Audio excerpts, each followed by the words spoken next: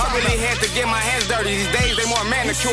I manifested me at my best and cleaned up like a janitor. When the heat's on, I just adjusted the air conditions. I ain't a big fan of yours. This cannon smile, but a fish, it was flashing niggas. Fuck like a cannonball.